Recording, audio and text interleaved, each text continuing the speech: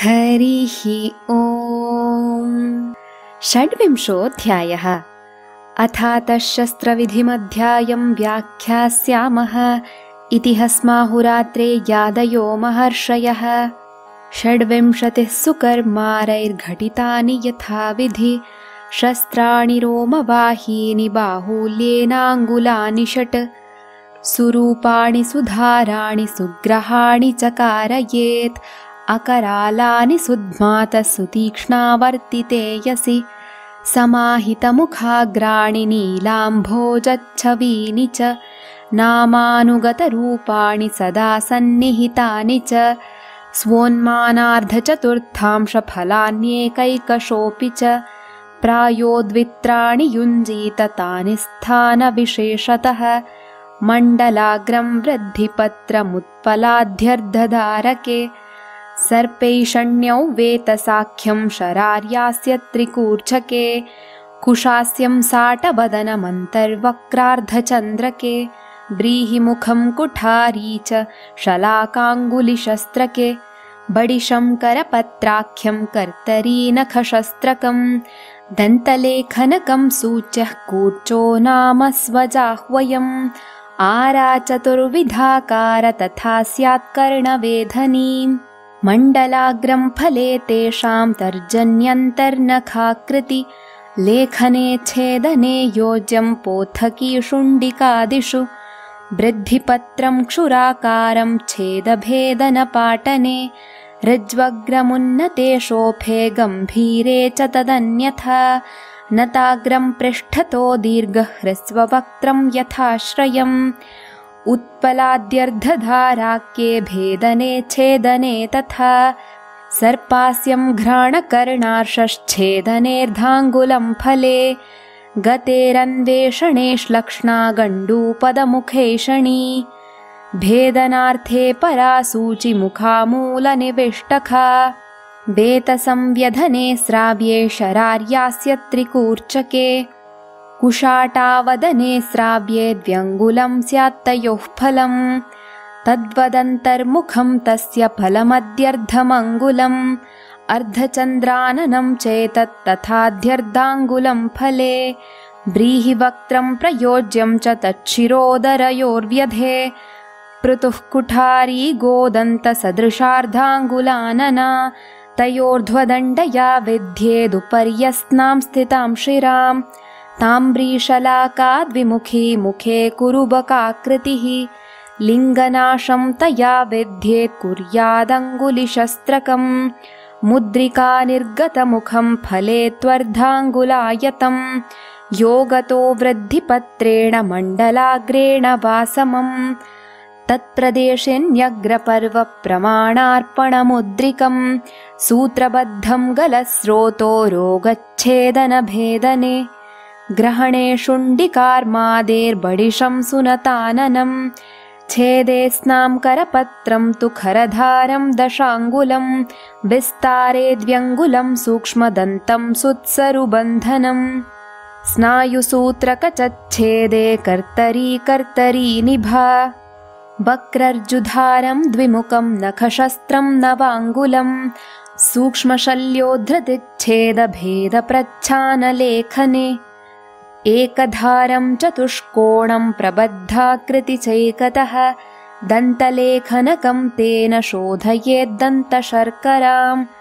वृत्तागूढदृढः पाशे तिस्रः सूच्योऽत्र सीवने मांसलानां प्रदेशानां त्र्यस्रात्र्यङ्गुलमायता। अल्पमांसास्थिसन्धिस्तव्रणानां द्व्यङ्गुलायता व्रीहिवक्राधनुर्वक्रा पक्वामाशयमर्मसु सा सार्धद्व्यङ्गुला सर्ववृत्तास्ताश्चतुरङ्गुलाः कूर्चो वृत्तेकपीठस्थाः सप्ताष्टौ वा सुबन्धनाः स योज्यो नीलिकाव्यङ्गकेशशातेषु कुट्टने अर्धाङ्गुलमुखैर्वृत्तैरष्टाभिः कण्टकैः खजः पाणिभ्यां मध्यमानेन घ्राणात्तेन हरेदसृक् व्यधनं कर्णपालीनां यूथिकामुकुलाननम्।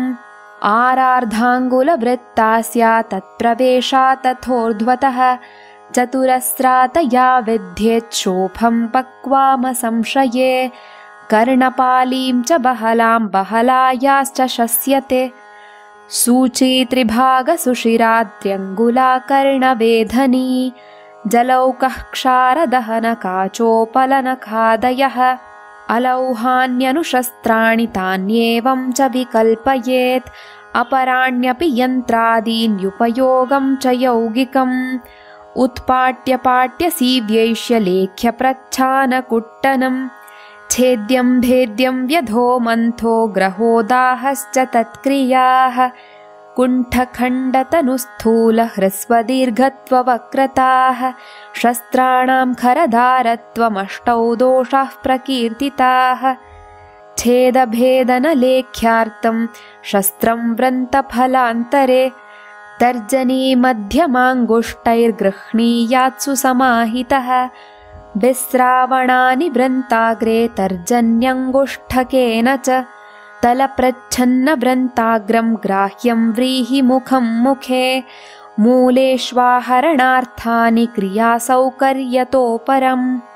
स्यान्नवाङ्गुलविस्तारः सुघनो द्वादशाङ्गुलः क्षौमपत्रोर्णकौशेयदुकूलं मृदुचर्मजः विन्यस्तपाशः सुस्यूतः सान्तरोर्णास्थशस्त्रकः शलाकापिहितास्यश्च शस्त्रकोशः सुसञ्चयः जलौकसस्तु सुखिनां रक्तस्रावाय योजयेत् दुष्टाम्बुमत्स्यभेका हि शवकोऽथमलोद्भवाः रक्ताश्वेताभृशं कृष्णाश्चपलास्थूलपिच्छिलाः इन्द्रायुधविचित्रोर्ध्वराजयो रोमशाश्चताः सविषा वर्जयेत्ताभिः कण्डूपाकज्वरभ्रमाः विषपित्तास्रनुत्कार्यं तत्र शुद्धाम्बुजः पुनः निर्विशाशैवलश्या वा वृत्ता नीलोर्ध्वराजयः कषायपृष्ठास्तन्वङ्ग्यः किञ्चित् पीतोदराश्च याः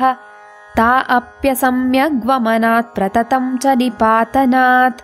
सीदन्तीः सलिलं प्राप्य रक्तमत्ता इति त्यजेत्। अथेतरा निशाकल्कयुक्तेऽम्भसि परिप्लुताः। अवन्ति सोमे तक्रे वा पुनश्चाश्वासिता जले। लागयेद्घृतमृत्स्तन्यरक्तशस्त्रनिपातनैः पिबन्तीरुन्नतस्कन्धाश्छादयेन्मृदुवाससा सम्पृक्ताद्दुष्टशुद्धास्राजलौकादुष्टशोणितम् आदत्ते प्रथमं हंसः क्षीरं क्षीरोदकादिव। गुल्मार्शो विदृधीन् कुष्ठवातरक्तकलामयान् नेत्ररुग्विषवीसर्पान् शमयन्ति जलौकसः। दंशस्य तोदे कण्ड्वां वा मोक्षये त्वामयेच्च ताम् पटुतैलाक्तवदनां श्लक्ष्णकण्डनरूषिताम् रक्षन् रक्तमदाद्भूयः सप्ताहं तानपातयेत्। पूर्ववत्पटुतादार्ढ्यं सम्यग्वान्ते जलौकसाम्। क्लमोति योगान् मृत्युर्वा दुर्वान्ते स्तब्धतामदः अन्यत्रान्यत्र तास्थाप्या घटे मृत्स्नाम्बुगर्भिणि। लालादिकोथनाशार्थं सविशास्युस्तदन्वयात् अशुद्धौ स्रावयेद्दंशान् हरिद्रागुडमाक्षिकैः शतधौताज्यपि च वस्ततो लेपाश्च शीतलाः। दुष्टरक्तापगमनात् सद्यो रागरुजां शमः। अशुद्धं चलितं स्थानात् स्थितं रक्तं व्रणाशये। व्यम्ली भवेत् पर्युषितं तस्मात् तत्स्रावयेत् पुनः। युञ्जान्नालाबुघटिका रक्ते पित्तेन दूषिते तासामनलसंयोगात् युञ्जात्तु कफवायुना कफेन दुष्टं रुधिरं न शृङ्गेण विनिर्हरेत्। स्कन्नत्वात्वातपित्ताभ्यां दुष्टं शृङ्गेण निर्हरेत्। गात्रं बद्धोपरिदृढं रज्ज्वापट्टेन वासमम् स्नायुसन्ध्यस्तिमर्माणि त्यजन् प्रच्छानमाचरेत् अधोदेशप्रविसृतैः पदैरुपरि गामिभिः न गाढघनतिर्यग्भिर्न पदे पदमाचरन् प्रच्छानेनैकदेशस्थं ग्रथितं जलजन्मभिः। हरेत् शृङ्गादिभिः सुप्तमसृग्व्यापि शिराव्यधैः। प्रच्छानं पिण्डिते वा स्यात् अवगाढे जलौकसः।